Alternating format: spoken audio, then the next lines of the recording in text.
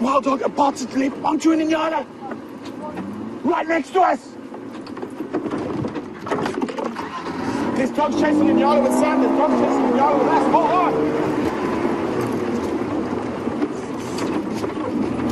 Look how close that dog was. So they split into different pods chasing different Inyala.